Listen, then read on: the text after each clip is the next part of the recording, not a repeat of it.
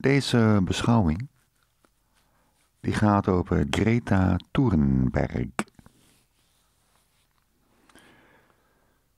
Ik denk dat ik elke keer als er iemand op Facebook uh, begint over Greta Thunberg, dat ik er een beschouwing over ga houden. Ik heb een, een Facebook vriend, vriendin. Ik zal hem maar niet mijn naam noemen. Die komt dan met het volgende. Uh, Greta heeft een inspirerende boodschap voor ons. Natuur kan ons helpen bij het klimaatprobleem. We zitten in een massale uitsterving van soorten en in een klimaatcrisis. Maar we kunnen er wat aan doen. Bescherm de natuurlijke klimaatoplossingen. Herstel en geef geld aan dat wat bijdraagt aan oplossingen en stop met fossiele energie. Jij kunt deel uitmaken van de positieve verandering, aldus Greta Thunberg. Hm, ik heb dat even bekeken, dat filmpje. En daarin wordt kortweg gezegd dat CO2 een voedingsstof is voor planten. Dus als je planten laat groeien, dan daalt de CO2-concentratie in de lucht. Nou, dat ben ik helemaal met die. Uh, ben ik eens met Greta, dat is waar. Dus wij moeten planten laten groeien. Nou is het wel zo dat planten niet alleen CO2 nodig hebben om te groeien, er moet ook stikstofdioxide bij. Nou, daar ben ik ook voor.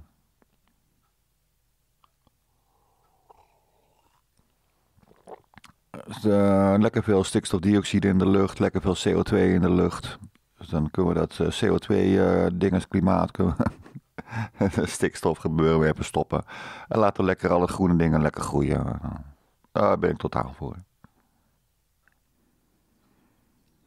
En wat ze dan ook zeggen, we moeten stoppen met het verbranden van fossiele brandstoffen. En dan denk ik, ja, waarom? Die fossiele brandstoffen, dat is koolstof, die vroeger deel uitmaakte van het biotoop. En ja, waarom mag dat niet opnieuw deel uitmaken van het biotoop? Dat moet je mij nog een keer uitleggen hoor.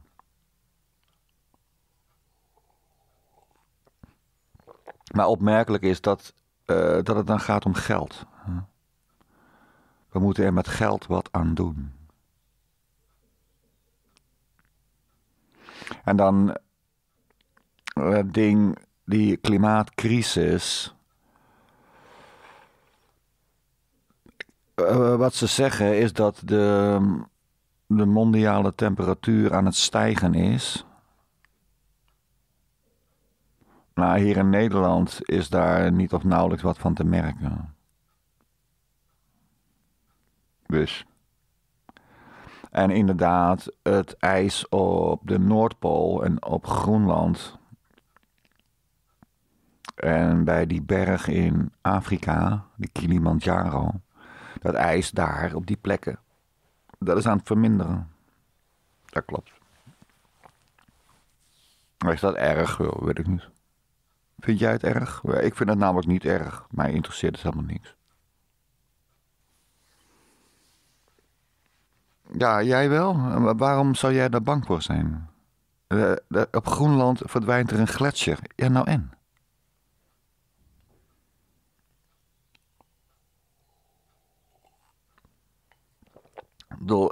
Ik bedoel, hier in mijn omgeving, daar stonden hele leuke flats met zulke flats als de flats waarin ik woon. Hè? Appartementen, leuke dingen. Die zijn allemaal gesloopt. Nou, dat, dat vind ik wel erg. Er waren hele leuke woningen. En wat er voor teruggekomen is. Ze zijn er al jaren mee bezig. En ze hebben dus hier achter mij hebben ze allemaal van die hele leuke flats hebben ze uh, totaal gesloperd. En daarvoor zijn teruggekomen ongelooflijke juppenwoningen. En daar wonen dus veel minder mensen. Want het is allemaal lekker duur en zo hè, geworden. En staat, de helft staat leeg. Al een hele tijd. En daarvoor woonden daar allemaal mensen. Aan de overkant, daar hebben ze ook een heleboel gesloopt. En daar hebben ze een probleem met de financiering, neem ik aan. Want daar lopen helemaal geen bouwvakkers in de. Al een hele tijd ligt dat stil. De laatste tijd zijn ze weer een beetje bezig. Maar een beetje. Nou, niet echt dat ze nou, uh, dat je denkt van, goh, wat zijn ze hard aan het bouwen. Kennelijk hebben ze die woning ook nog niet verkocht. Maar dat er een gletsjer in Groenland weg is, ja. Moet ik ervan wakker liggen? Ja, want dan gaat de zeespiegel stijgen. De, de zeespiegel stijgt. Dat doet hij al sinds het begin van de 19e eeuw. Met 1,7 mm per jaar.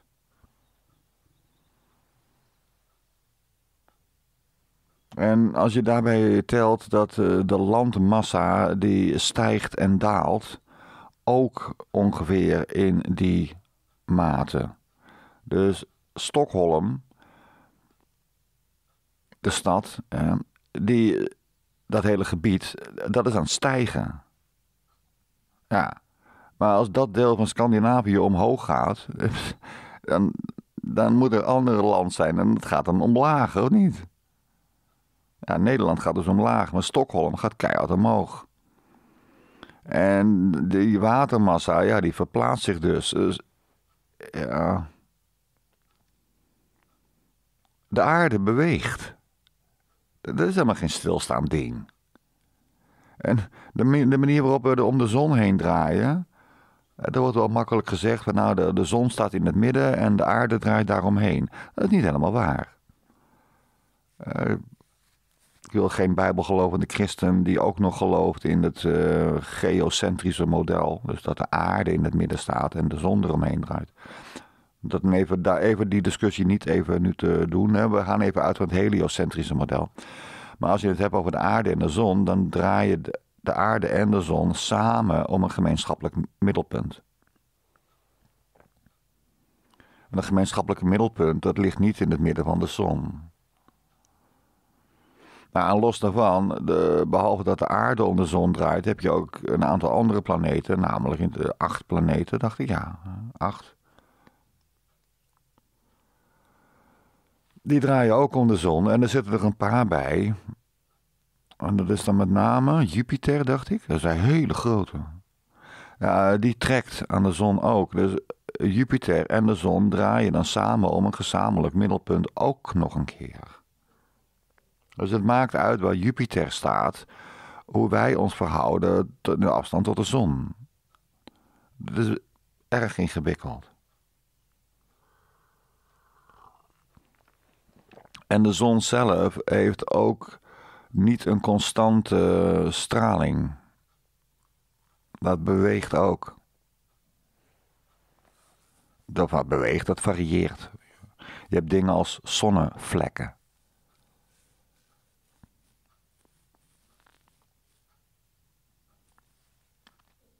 Nou, en dan is het ook nog zo dat de maan om de aarde draait.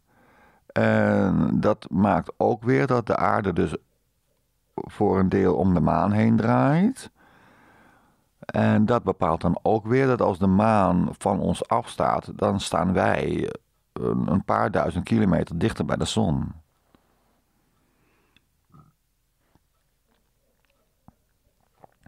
Nou, op die hele afstand tot aan de zon is dat maar een klein beetje. Maar het is ook weer een klein beetje wat bijdraagt aan een andere verhouding van de aarde tot de zon.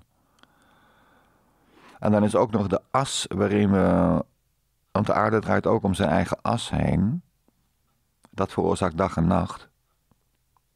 En in het heliocentrische model. Dan ja, wij draaien dus niet in een, in een loodrechte as die, of een as die loodrecht naar boven staat, in een plat vlak rondom de zon. Als je even denkt dat die zon dan in het midden staat, dat is heliocentrisch, nogmaals.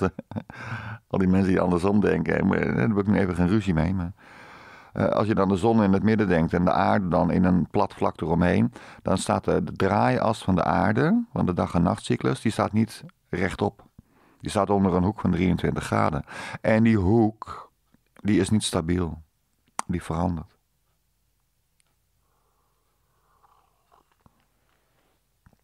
Ja, al met al, er zijn heel wat factoren die invloed hebben op de, de gemiddelde temperatuur hier op aarde. Of je zou kunnen zeggen, die invloed hebben op de hoeveelheid zonne-energie. Dus het ultraviolette licht, wat wij niet kunnen zien. En dan heb je het zichtbare licht, dat kunnen wij wel zien. En dan heb je het infrarode licht, dat kunnen we niet zien. Maar dat hele gebeuren, dat is de totaliteit aan zonne-energie, wat er binnenkomt op de aarde. Nou, dat varieert. Het zij door de afstand, het zij door de hoek waaronder de aarde naar de zon staat, eh, wat dus een andere verdeling geeft. En dan heb je dus ook nog te maken met dat, uh, zeggen, dat de zon zelf fluctueert. Dus je hebt de fluctuatie van de zon, je hebt de afstand van de aarde tot de zon die varieert, en je hebt die hoek waaronder de aarde naar de zon gericht staat, CQ van de zon afgericht is, als je het hebt over het noordelijk halfrond. Die hoek kan variëren. Dat maakt allemaal uit.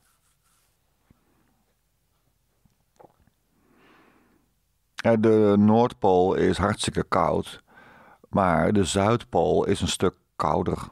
Dat is ook zoiets. Eh, dat komt door die hoek.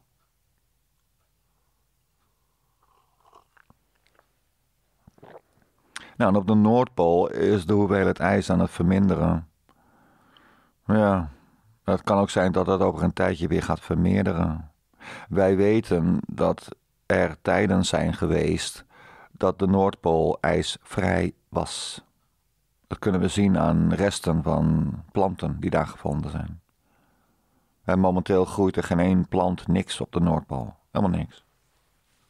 Wat algen in de oceaan, meer niet.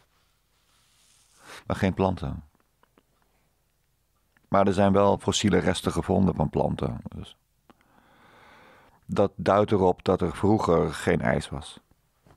Nou, waarom zou dat niet kunnen? Het ijs dat heeft hier in Nederland gelegen. De ijstijd, de grote ijstijd. De Utrechtse heuvelrug.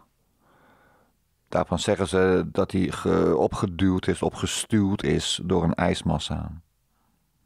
Maar dat ligt bij Utrecht dus. dus. Tot in Utrecht lag de ijsmassa. En er wordt ook gezegd, in die dagen was de zeespiegel extreem laag en kon je lopen naar Engeland. Ja, Engeland was toen niet, maar wat we nu Engeland noemen. Dat gebied, daar kon je naartoe lopen. Als je er zin in had. Maar had je waarschijnlijk niet, want er was een ijstijd en... Uh, ik denk dat hier toen uh, niet of nauwelijks mensen woonden. Dat was veel te koud.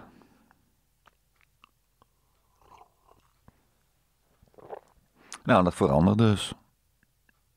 Dat is wel duidelijk. En is het dan de laatste tijd extreem aan het veranderen? Uh, nou, nee. De zeespiegel stijgt sinds het begin van de 19e eeuw. En in het begin van de 19e eeuw was er nog helemaal geen verbranding van uh, grootschalige hoeveelheden fossiele brandstoffen. Ik neem aan dat ze toen wel uh, ja, turf, maar ja, turf is zeg maar biomassa. En de turf, dat zijn in die moerassige gronden, dan uh, allemaal planten, wortels en zo. En dat werd dan gestoken en dat werd te drogen gelegd. En als het dan helemaal gedroogd was, dan werd het verhandeld als brandstof. Nou, daar krijg je natuurlijk CO2 van. Dat lijkt me nogal winus. En los daarvan, eh, als jij uitademt, in jouw eh, adem zit CO2. Altijd.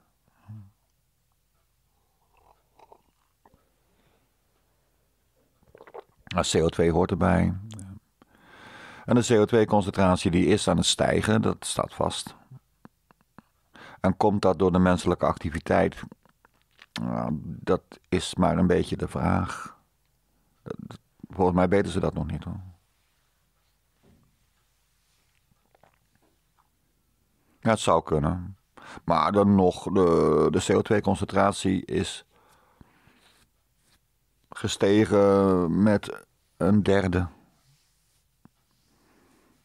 En als je daarbij in ogenschouw neemt dat de CO2-concentratie op zich is maar 0,03 en tegenwoordig 0,04 procent.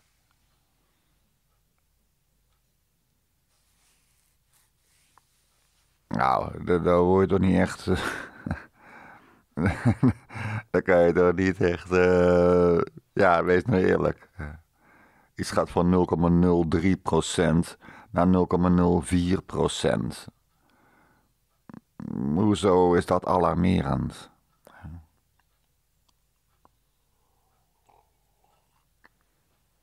Dat is weinig hoor, 0,03%. Dus eh, als jij uitgaat van, om het even dan een beetje aanschouwelijk te maken. Stel, jij hebt uh, een inkomen in de maand van 1000 euro. Of je hebt een vrij besteedbaar inkomen van 1000 euro. Dat je wel wat meer hebt, maar een aftrek van je huur en je, verplichte volksgezondheidsellende. Dat je 1000 euro in de maand mag jij uitgeven aan leuke dingen. En wat is dan 0,03% van 1000 euro? Nou, 1% van 1000 euro, dat is 10 euro.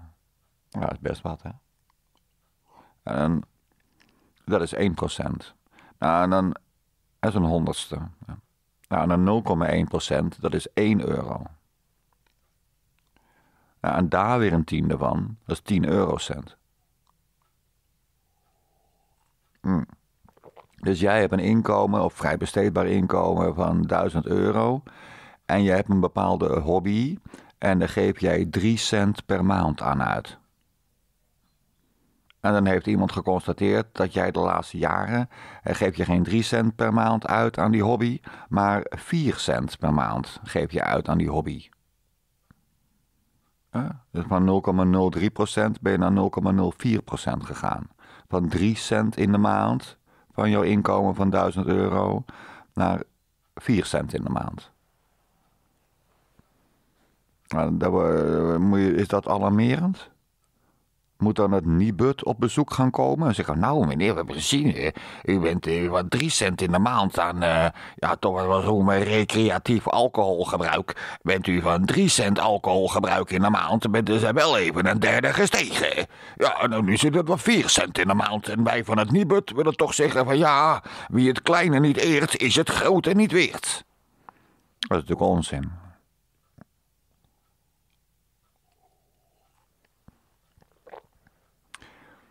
En die zeespiegelstijging, dat, uh, ja, het is opmerkelijk dat die zo stabiel is. Zie, ik denk dat je ervan uit moet gaan dat de zeespiegel nog wel een tijdje zal blijven stijgen hoor. Maar er is niks aan de hand. Dus niet denken dat als je in de Alexanderpolder woont, dat gaat door voor een van de laagste gebieden van Nederland. Dat zit meters onder de zeespiegel. Dat geldt ook voor Almere. Maar als je daar woont, hoef je daar geen zorgen over te maken, joh. Tenzij er een terroristische aanslag komt. Als ze. Uh, die jongens en meisjes van de wereldorde. Die transgender idioten. Nou, die hebben 9-11 bijvoorbeeld gedaan, hè? Nou, als je het lef hebt om 9-11 dus die aanslagen van 11 september, dat, was een militaire operatie. Nou, als je het lef hebt om zoiets te doen, op klaarlichte dag, midden in een grote stad in Amerika. En dan ook alles eromheen met alle tv-kanalen en alles is aangestuurd, hè? Tot en met de BBC aan toe. Als je dat lef hebt, dan heb je ook het lef om uh, de dijk bij uh, bij Lelystad uh, op te blazen. Waarom niet? Waarom niet? Als dat past in een politieke agenda, dan doen ze dat. Tuurlijk. Het zou mij niets verbazen dat dat plan al is uitgeschreven. Altijd handig voor het geval dat ze zoiets willen.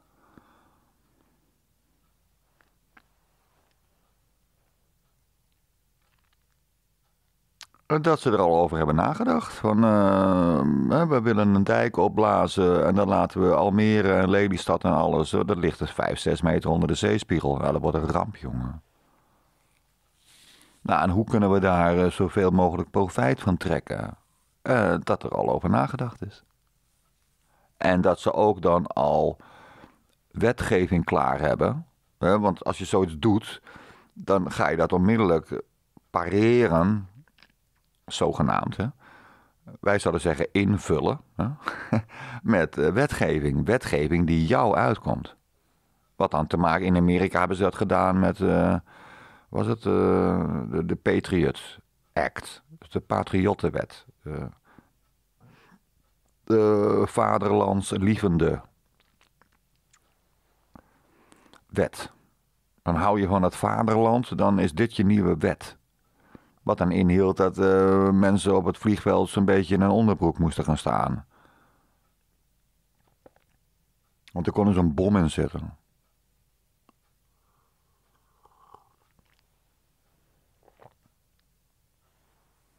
Nou, het zou me niet verbazen dat ze zo'n plan al klaar hebben. Maar als je dus dat even buiten beschouwing laat, lopen de mensen in Almere een risico met die stijgende zeespiegel van 1,7 mm per jaar. Nou, het antwoord is nee. Dat is vrij simpel. Ga maar controleren, ga maar een keer over de dijk rijden, dan neem je je gezin lekker mee. Papa, wat gaan we vandaag doen dan? Nou, we gaan lekker een patatje eten in Lelystad. Ik wil geen patat. Nou, dan krijg jij een frikandel. Is dat wel goed? Ja, frikandel vind ik wel lekker. Ik wil geen patat. Nou ja, dan krijg je geen patat. Wil je dan frikandel met vanille-ijs? Ja, mag ik, oh, mag ik dan vanille-ijs met slagroom? Ja, kind. Dan ga je lekker bij hele gezin stop je in dat stomme autootje van je. Ga je lekker CO2 produceren en dan rij je even over die dijk van Lelystad. Dan ga je kijken hoe hoog die dijk zich verhoudt tot de zeespiegel. Dan zie je dat daar uh, dik een meter, twee meter tussen ligt. En dat is dan weliswaar de spiegel van het IJsselmeer, maar de zeespiegel oh ja, dus de IJsselmeerspiegel. Die is toch net zo hoog als de zeespiegel, of?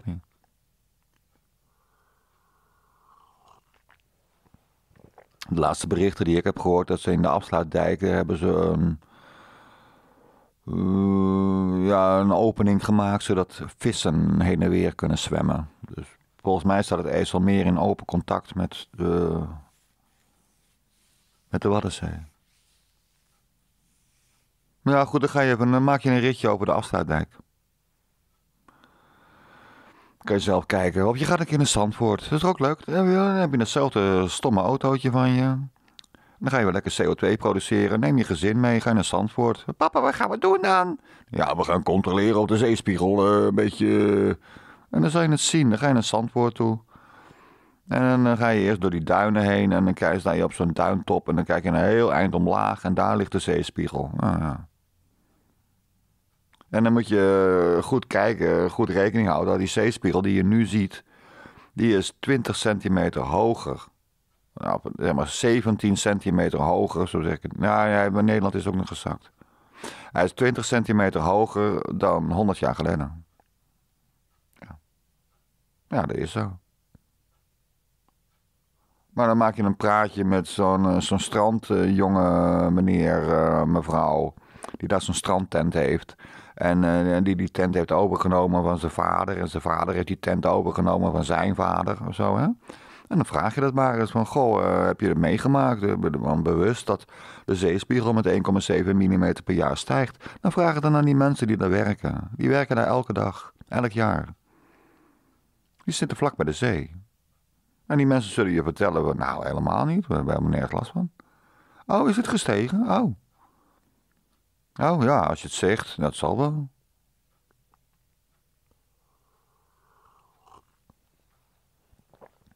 Kijk, als er een, een behoorlijke westerstorm is, dan, dan worden er stukken van de duinen weggeslagen en dat wordt aangevuld met vrachtauto's met zand.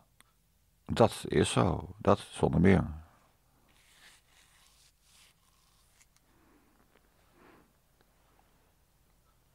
En dat zouden ze ook in één keer op kunnen lossen door uh, op die plekken waar die duinen nogal kwetsbaar zijn, om daar dan basaltblokken neer te donderen. Maar dat doen ze niet vanwege de natuur. Nou, een keuze. Dat is ook nog iets. Uh, ik heb het over Greta Thunberg natuurlijk. Maar uh, Greta Thunberg die mag ook weten dat wij voor de Nederlandse kust. Beschikken wij over een kalkbodem. Die bodem daar zit, die zit barstens vol met kalk. En zwavelzuur. Dat is een middel wat in de chemische industrie heel veel gebruikt wordt. En in het afval van de chemische industrie zit nogal wat afval wat zwavelzuur is met rotzooi erin. Vervuild zwavelzuur, dat is een groot probleem. Nou, dat zouden wij eh, op kunnen slaan. Dus dan alle chemische industrie sturen wij een brief van moet je van je vervuilde zwavelzuur af. Dan willen wij dat wel voor je opslaan. Nou, daar gaan die mensen wel voor betalen. Dus dan krijgen wij gelijk geld. Dus dan krijgen wij geld van die chemische industrie. En we krijgen dan uh, hele containers vol met dat vervuilde zwavelzuur. Dan hebben we dus allemaal chemisch afval. En dan denken wat moeten we ermee? Nou, daar gaan we heel slim mee om. En dat gaan we namelijk injecteren in de zeebodem voor de kust. En dat gaan we pas doen nadat we eerst een goed plan hebben gemaakt. En dan gaan we kijken waar we dat gaan injecteren. Want als we dat zwavelzuur injecteren in die kalkbodem. Voor de zekerheid zal ik het even bijzoeken dat ik mij verspreken, moet ik weer een. Uh... Kijk, dan ga ik, dat wordt gips als ik het wel heb. Wiki en dan gips. Niet Gypsy Kings, maar gips. Gips. Gypsium, gips. Ja, dus uh, calciumsulfaat. Dat is gips. Krijt is het ook wel genoemd. Dit is uh, CaSO4. En het bindt twee waterstof, uh, twee watermoleculen.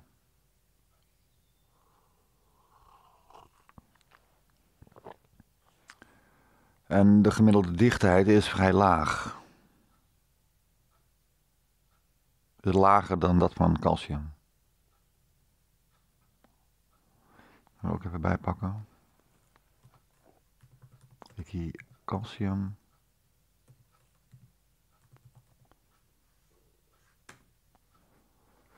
Calcium. Kijken of hier te snel de dichtheid kan vinden. Op de boel staat er niet echt dichtbij.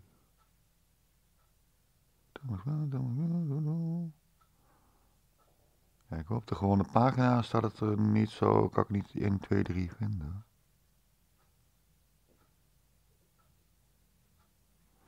Nou, doe het even, even opzoeken. Calcium en dan dichtheid.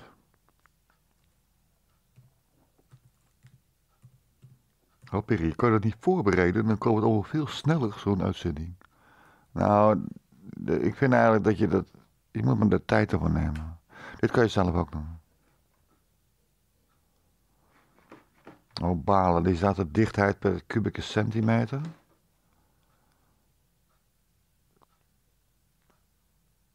En dan heb ik hier de dichtheid per kubieke decimeter. En een kubieke decimeter, dat is dan 10 bij 10 bij 10, dus dat is een 1000. Dus 1,6 kilogram per kubieke decimeter. Nou, daar kom ik niet zo snel uit. Anyway, die man, dus een man die, heeft het, uh, is ermee aan het stoeien geweest. En die zei dus, nou, als je dat doet, als je dat, dat zwavelzuur injecteert in de bodem, dan gaat die kalklaag die gaat uitzetten. Dat wordt een gips en dan stijgt die kalklaag. En dan kan je dus als het ware een, een kunstmatige dijk creëren. Of een dijk, een dijk is kunstmatig. Hè? Maak je een bescherming voor de Nederlandse kust tegen stormen zoals toen in 1953. Waarbij de Zeeland en een stuk van Zuid-Holland onder water is gelopen. Dat kan je dan, kan je wat aan doen.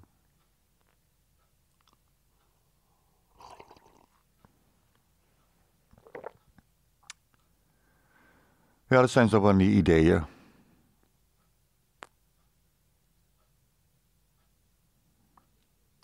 Daar heeft Greta Thunberg het helemaal niet over. Maar dat ze begint met die bomen aanplanten, dat is natuurlijk wel. Uh, of ja, je moet, bomen zijn een idee, maar zonder meer groen. En dan begint ze dan over de destructie van de regenwouden. Dat moet ophouden. Ja. Kijk, het Braziliaanse regenwoud, het Amazonegebied. Grote delen daarvan zijn bestempeld door de Braziliaanse overheid als natuurgebied. En sinds jaar en dag gebeurt er helemaal niks. Er mag helemaal geen uh, landbouw of zo gepleegd worden. En heb je in Afrika ik ook nog wat oerwouden en ja, daar is de situatie echt wel zorgelijker. Maar dat heeft veel te maken met de mentaliteit van de mensen die daar wonen. Ja, er is een land in Afrika en er was toen in de jaren tachtig Live Aid. Weet je dat land ook alweer? Weet jij het nog? Had je Live Aid, dat was dan Live Aid met, met Bono. In 1985 was dat.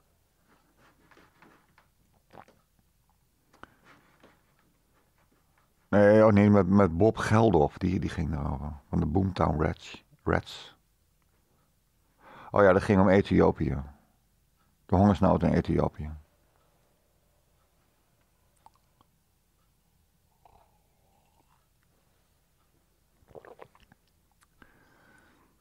Nou, inmiddels wonen in die regio.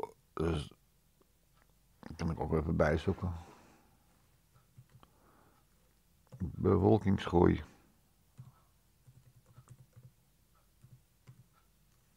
Bevolkingsgroei. Ethiopië.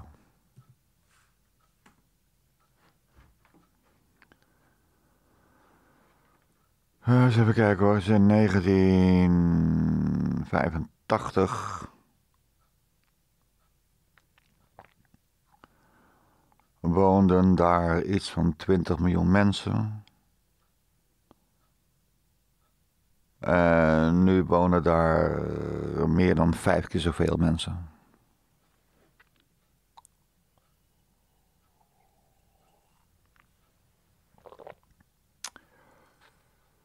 Daar kan je je voorstellen. Ja? Het is totaal onverantwoordelijk wat die mensen daar doen. Maar ga dat maar eens uitleggen aan een Ethiopische vrouw. Eh, hoe kan je nou in een periode van 40 jaar, dus twee generaties, dan heb je vier keer zoveel mensen. Dat betekent dat je daar dus gemiddeld vijf kinderen per vrouw hebt. Dat is niet zo handig, hè? In 1985 heb je bewezen aan jezelf dat je niet in staat bent om eh, duurzaam te leven in je eigen land. Je bent een moord gestikt van de honger. En vervolgens, nadat je hulp hebt gekregen door Bob Geldof van de Boomtown Reds, eh, dan ga je eh, de, de bevolking ver vier, vijf, ver vijfvoudigen. Dat is een ernstig probleem. En wat wij ook weten, is wij hebben de moeite genomen om een ding te introduceren. Dat heet een IQ-test. Dat hebben wij uh, uitgevonden bij de slimmerikken, de blanken. Ergens in het begin van de Tweede Wereldoorlog. Als ik het goed heb begrepen, is dat begonnen in het leger, waar ze dat gebruikten als een selectiecriterium om te bepalen of iemand uh, soldaat moest worden, of sergeant, of uh, luitenant, of kolonel. Je wilt natuurlijk de, de slimmerikken, je wilt dat de slimmerikken de leiding hebben. Dat verhoogt de overlevingskansen van het peloton.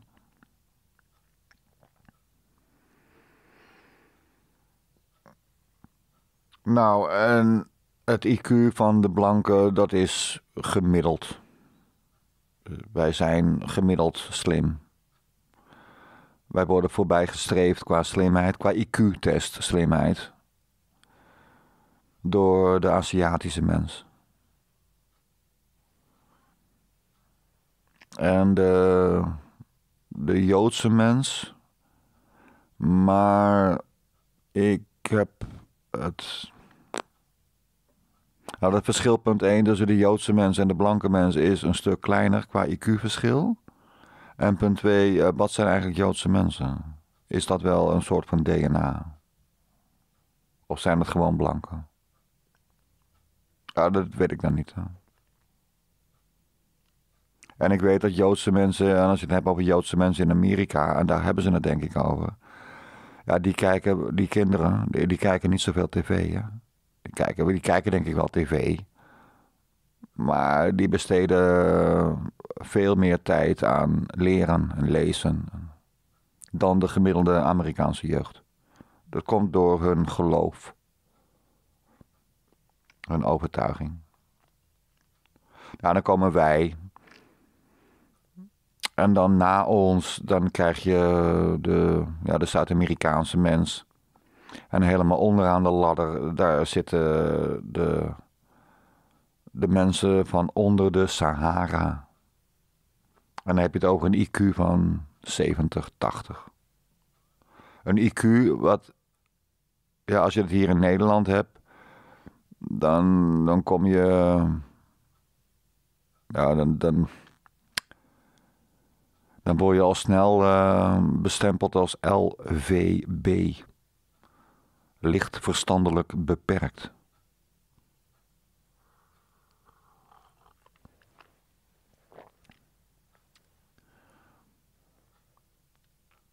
Ik ben geen racist of zo, daar heeft het niks mee te maken. Nou, want ik geloof niet in rassen. Maar ik geloof er wel in dat als je ouders hebt die eh, geen boek lezen. en jij groeit op in zo'n gezin. Ja, dat je ja, dan ga jij ook geen boeken lezen. En ja, hoe, moet je dan, je, je, waar moet je, hoe, moet je dan komen aan je hersentraining? Er zijn regio's in Afrika en eh, die, die mensen spreken een taal.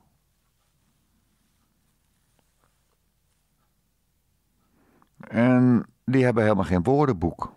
Die hebben ook geen woord voor woordenboek. Want ze hebben geen woordenboek. Dat is ook helemaal niet nodig. Dus de, dat vocabulaire wat ze hebben, dat is zo klein, dat leert iedereen aan zijn hoofd.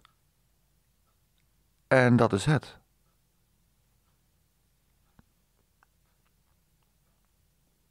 Dus ik heb mij laten vertellen dat er dus uh, gebieden zijn in Afrika waar ze wel een woord hebben voor hoog, maar niet een woord voor hoger. Dus, ja, dat, dat hebben ze niet. Alles is hoog. Je hebt eh, hoog dit, hoog dat. Maar niet hoger. Want dit is hoger dan dat. Zo'n zin kunnen ze niet maken.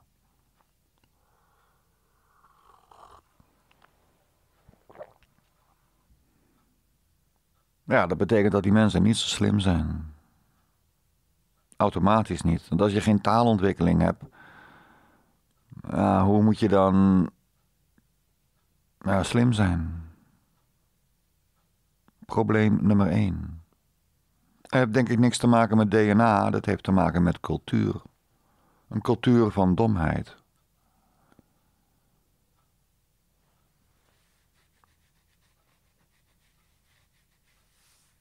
Ja. En dat is echt wel een probleem. Ja, Zo'n land als Ethiopië, waar ze eventjes sinds 1985 uh, vier keer zoveel mensen hebben. Dan kijk je hier naar Nigeria. Hetzelfde laken het pak. Dat was in 1985, hadden ze daar even op het oog zitten kijken naar een grafiekje. Met 80 miljoen mensen en nu zitten ze op 200 miljoen. Tweeënhalf keer zoveel.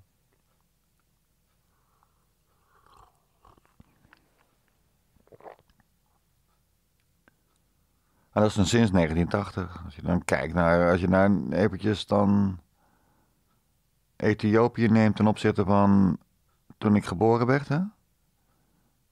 Toen ik geboren werd, toen waren er op het oog 20 miljoen Ethiopiërs. En dan hebben wij nu. Uh... Oh, wat grappig. Oh, nu zie ik het pas. Ik kan het daarnaast kan je het aflezen. Oh, wat mooi. Ja, 20 miljoen in 1960. En dan nu dus uh, eh, 105 miljoen. Dus sinds dat ik geboren ben, zijn er vijf keer zoveel Ethiopiërs. Nou, als je kijkt naar de Nederlandse situatie. Eh, sinds dat ik geboren ben, zijn er minder Nederlandse mensen. Dus. Wij hebben 1, momenteel is het echt schrikbarend laag. Dus 1,3 kind per vrouw. Dat is echt heel weinig. Dat is te weinig.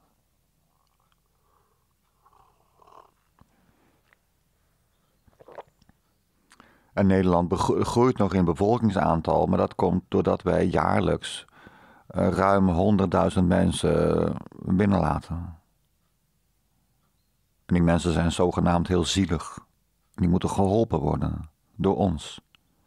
Het kleinste land zo'n beetje ter wereld. Oh nee, Vaticaanstad is nog kleiner. Ja, Vaticaanstad heeft 20 vluchtelingen opgenomen. Homo. Oh, je mag geen homo zeggen, dat is niet inclusief. Nee, homo ignorantius. Betekent stomme akel. Je hebt homo sapiens, dat betekent verstandige knul of slimme meid. Dat is een homo sapiens. Je hebt ook homo ignorantius. Oetlul.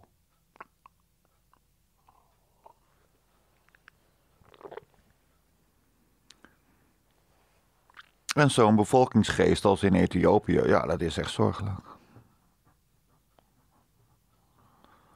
Maar dan mag Greta Thunberg eh, echt van mij naartoe hoor. En ik mag daar gaan zeggen tegen al die dames van nou, hou er eens mee op. Hou het daar jou.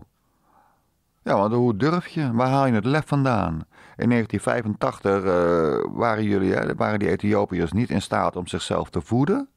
En nu zijn ze met 100 miljoen. Ja, als het nou fout gaat, dan moeten wij 100 miljoen mensen gaan redden? In 1985 waren dat er nog 40 miljoen. Maar nu dus uh, 2,5 keer zoveel.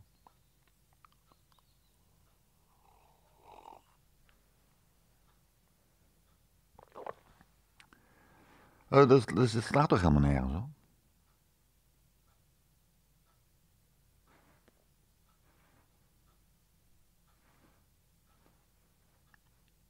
En Greta Thunberg, die zit alleen maar te zeuren tegen blanken. Als je het hebt over vervuiling, milieuvervuiling. Hebben ze ook onderzoek naar gedaan naar uh, plastic uh, afvalvervuiling. en dan de top 20 opgesteld. En dan gaat het om de afvalvervuiling per hoofd van de bevolking. Nummer 1, dat is de De Chinees. En nummer 20, dat is uh, de Amerikaan, de Noord-Amerikaan. En de nummer 2 tot en met nummer 19, dat zijn allemaal andere landen uh, buiten Europa. Indonesië, uh, Vietnam, Korea, Thailand, India, zeg maar. Hou, we daar, jouwe. En ga tegen die mensen lopen zeuren. Nee, dat gaan we tegen de West-Europeaan doen. Want de West-Europeaan die is zich heel milieubewust. Dus daar heeft het effect als je gaat lopen brullen van er moet geld uitgegeven worden aan de juiste middelen. En wat die, die Facebook-vriendin van mij dan ook zegt. Hè? Die factor geld komt erbij. Je moet geld uitgeven aan dit. Nou, daar gaan we dan.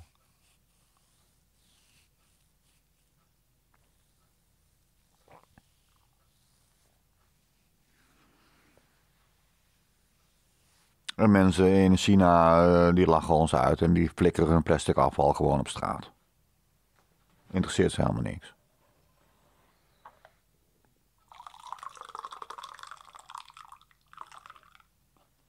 En dan zeggen ze ook hier in Nederland, dus de D66 kwam daarmee, dat uh, of de landbouwsector, landbouw en veeteelt, die, moet met, die wordt gehalveerd. Of we mogen geen woningen meer bouwen. Ja, maar we krijgen in 2020, geloof me nou maar, weer meer dan 100.000 mensen erbij. Waar moeten we die dan gaan huisvesten? In tenten? Hoe zie je dat voor je?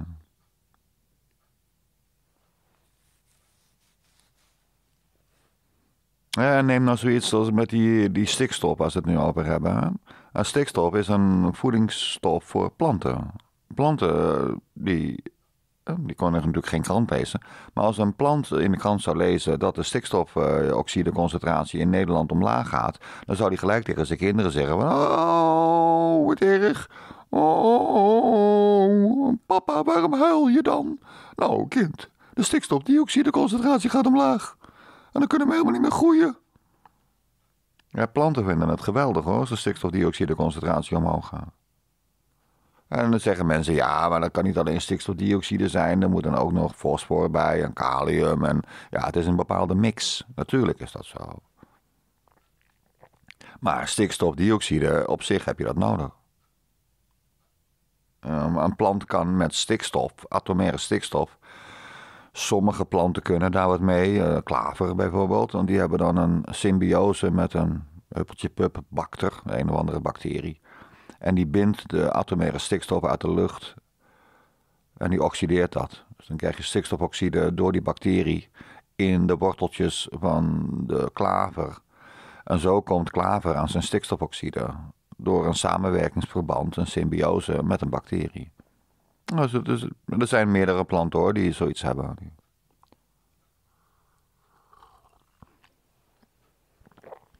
Maar klaver heeft dan weer wat anders nodig, dat moet er dan wel zijn. Nou, door dat stikstof krijg je dus plantengroei. Ja, dan krijg je ook plantengroei op de Veluwe. En daar willen ze dan juist geen plantengroei, want het moet een kaal gebied blijven. Dat moet heel stikstofarm blijven vanwege de geelgerande bruine, weet ik veel, een of andere kikker of zo. Ja. Maar Greta Thunberg heeft er netjes gezegd, uh, ja, we moeten juist alles groen hebben om het CO2 uit de lucht te halen. Maar dat willen ze dan niet met de Drunense duinen en dat willen ze niet met de Hoge Veluwe. En dat kan ik ook alweer begrijpen. Van mij mag, ook de Hoge Veluwe blijven zoals die is. Maar laat die boeren alsjeblieft lekker doorboeren. Niet lopen zeuren tegen die boeren. En dat de Hoge Veluwe dan wat minder uh, stikstofarm wordt en dus wat groener wordt, dat moeten we allemaal gewoon accepteren. Want die influx die er jaarlijks komt van 100.000 mensen, ruim 100.000 mensen elk jaar, ja, dat ga je voelen. Ja. De 100.000 man, dat is een hele stad hoor. Dat is een stad ter grootte van Arnhem.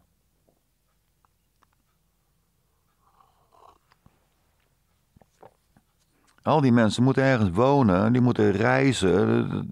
Ja, dan moeten de treinen moeten langer en de wegen moeten breder. Al die mensen komen erbij. En dan moet de natuur, ja, die moet maar een stapje opzij doen. Dat kan niet anders. Er is maar, Nederland is maar 200 bij 200 vierkant, 200 bij 200 kilometer. Dat is uh, 40.000 vierkante kilometer. Dat is het. Nederland is niet groter. Nou, en als je dat maar uh, vol blijft pompen met steeds meer mensen, 100.000 man erbij per jaar. Ja.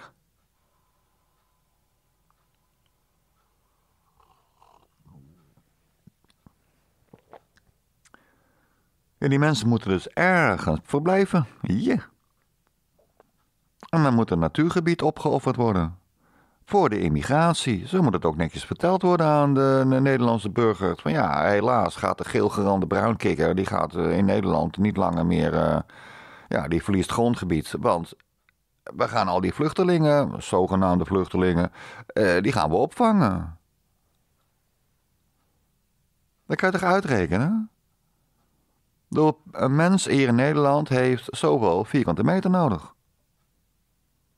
Zullen we zeggen, uh, ik bijvoorbeeld, neem mij. Wat, heb ik nou nodig? Een vierkante meter is gemiddeld. Ik heb zonder meer een flat.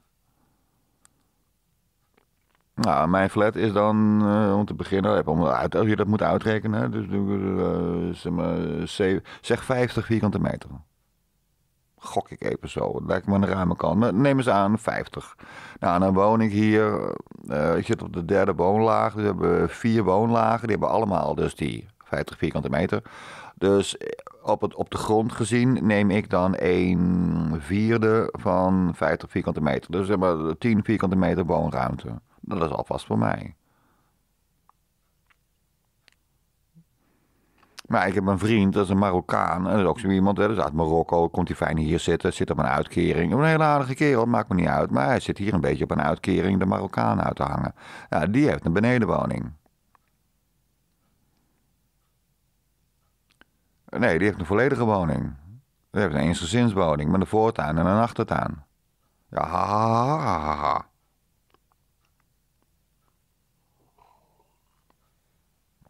Nou, die heeft heel wat meer vierkante meters.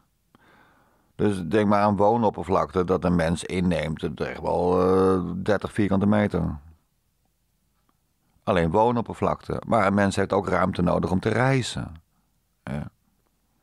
Dat je wat moeilijker uit te rekenen. Maar ja, als, als mensen dus moeten reizen van Utrecht naar Amsterdam... dan moet de weg moet zo en zo breed zijn. En als er maar tien mensen per dag eh, van Utrecht naar Amsterdam moeten, dan kan je dus volstaan met een smal laantje. Maar als er dus enorme aantallen van Utrecht naar Amsterdam moeten en weer terug, ja, dan moet die weg hartstikke breed zijn. Dus dan kun je ook uitrekenen hoeveel vierkante meter je daarvoor nodig hebt. Nou, stel dat je altijd bij elkaar 100 vierkante meter nodig hebt per mens in Nederland. Voor zijn bewegingsruimte, zijn leefruimte. Nou, dan heb je dus 100 vierkante meter keer 100.000. Dat is dan. Is een miljoen vierkante meter, als ik 10. heb je 10 miljoen vierkante meter nodig. En die, ja, moet die vandaan komen? Die kan niet komen van die vierkante meters die al ingenomen zijn door de mensen die hier wonen. Dat moet van de natuur komen. Dat moet van de natuurgebieden komen. Ja, die moeten dan maar inge, ja, ingelijfd worden. Bij de bebouwde kom. Dat lijkt me nogal wie dus.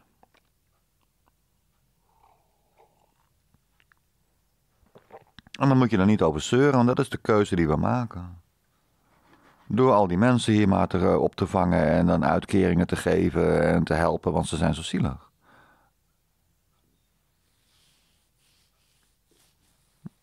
Terwijl dat op zich natuurlijk helemaal nergens op slaat.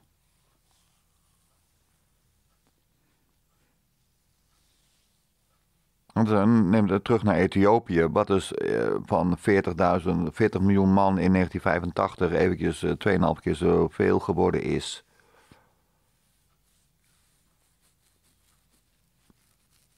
In die korte tijd. Ja, die mensen die, het is volstrekt onverantwoordelijk wat ze doen.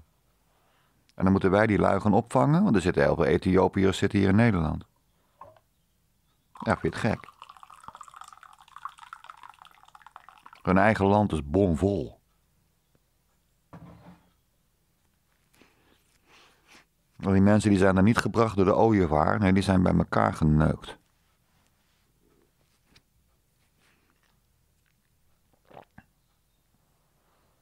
En daar mag Greta Thunberg heus wel wat van zeggen.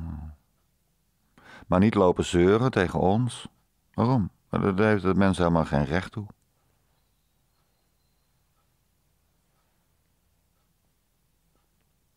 Dus ja, hier in Nederland met het klimaat. Ja, het klimaat, de, de temperatuur hier in Nederland. Die is 2 graden gestegen sinds het begin van de 20e eeuw. Maar die stijging van 2 graden, die ligt niet vast. Het kan zijn dat het de komende tijd weer wat gaat dalen. Omdat de temperatuur nu één keer varieert.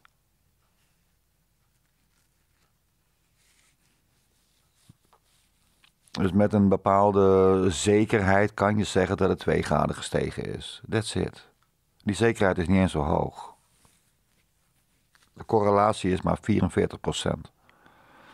En de laatste 20 jaar is de temperatuur niet gestegen. Echt helemaal niet.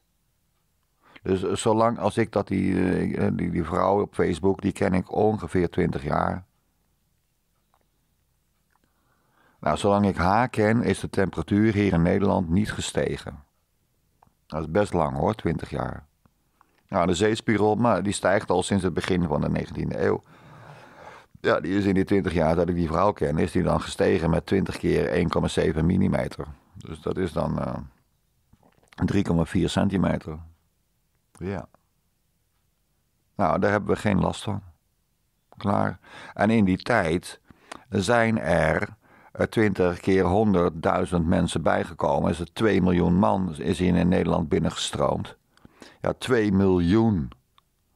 Ja, daar hebben we wel last van.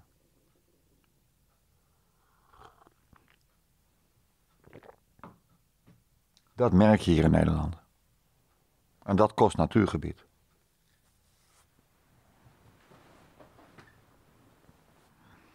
Snap? Zal ik nog even voorlezen wat ik gezegd heb tegen haar. Ik heb tegen haar gezegd: uh, Greta Thunberg beweert CO2 met het blote oog te kunnen zien. Zij is geestesziek. Liever heb ik dat mensen geen aandacht besteden aan deze gestoorde persoon. En dan reageert zij op: Dat is dan heel jammer voor je, Perry. Ik vind Greta heel inspirerend en ze krijgt van mij alle aandacht. En dan ik weer: Geloof jij dat ze CO2 kan zien? En dan reageert zij: Dat vind ik niet zo belangrijk. Waarop ik zeg: Iemand die dat zegt, die liegt. Als je zegt dat je CO2 kan zien, dan lieg je. Ik vind dat je als mens je, je aandacht moet geven aan mensen die niet liegen. Het is gevaarlijk om te luisteren naar leugenaars. En dan komt de reactie van haar. Haar boodschap, van Greta dus, haar boodschap dat we in de zesde extinctiegolf zitten en dat we in actie moeten komen, dat is wel echt belangrijk. Ze heeft een enorme passie en gedrevenheid en inspireert miljoenen mensen en mij ook. Het is gevaarlijk om de duidelijke tekens dat natuur in een crisis is te negeren en niet in actie te komen. Greta wijst naar de wetenschappers die ook uitvoerig onderbouwen dat we in de zesde extinctiegolf zitten. En onze menselijke activiteiten zijn daar de oorzaak van. Of vind je dat ook gelogen? Ja, dan kom ik. Als Greta de waarheid spreekt, dan hadden we ook in Nederland iets moeten merken van een temperatuurstijging en een stijging van de zeespiegel. Dat is niet het geval. Kijk maar naar mijn beschouwing, en dat is beschouwing 195. En die heet Klimaatveranderingsangst en de feiten. En mijn laatste zin is: Dus liegt Greta over het klimaat.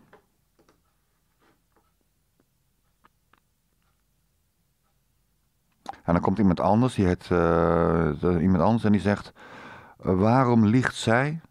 Omdat zij iets zegt te zien wat jij niet ziet?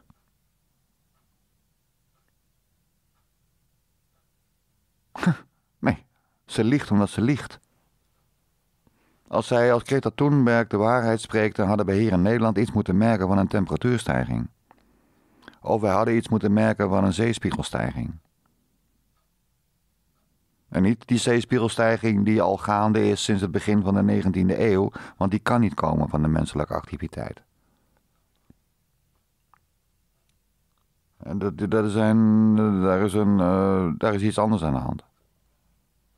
Nou, en aangezien wij die temperatuurstijging en die zeespiegelstijging niet waarnemen, liegt Greta Thunberg. En zij liegt over het feit dat ze CO2 kan zien, want dat kan ze niet.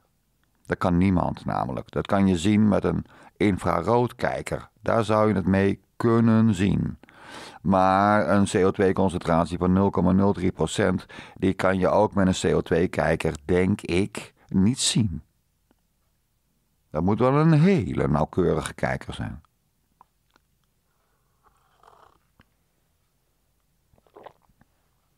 Snap je? Zo wordt ons angst aangejaagd. Met als doel om ons geld uit de zak te kloppen. Nou, dit was mijn eh, betoging, eh, beschouwing over uh, Greta Thunberg. Een, een zielig persoon. Greta Thunberg is ook gediagnosticeerd met het syndroom van Asperger. Een vorm van autisme. Een vorm van mensen die geen rekening houden met een ander. Ego-trippers, zeg maar. Dus Greta Thunberg heeft het syndroom van ego-tripperij. En ze heeft eh, OCD, dat is obsessieve dwangmatigheidsstoornis. Obsessive compulsory of zo, compulsory disorder. Zoiets. En dat ze CO2 kan zien, dat wordt verteld door haar moeder, by the way. Want die moeder heeft een boek geschreven. Over de uh, fijne klimaatdochter. En in, dat boek zegt die moeder dat haar dochter CO2 kan zien met het blote oog. Dus die moeder is ook niet goed. Maar jullie hopelijk wel. En tegen jullie zeg ik, eh, vol van vertrouwen en hopende op jullie hechting aan de waarheid, zeg ik op zijn hamburgers, tjus. en dag lieverds.